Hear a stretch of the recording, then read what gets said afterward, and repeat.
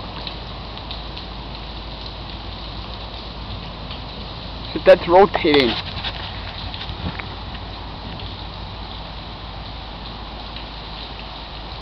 Yeah, we might be under internal turning on here in a minute.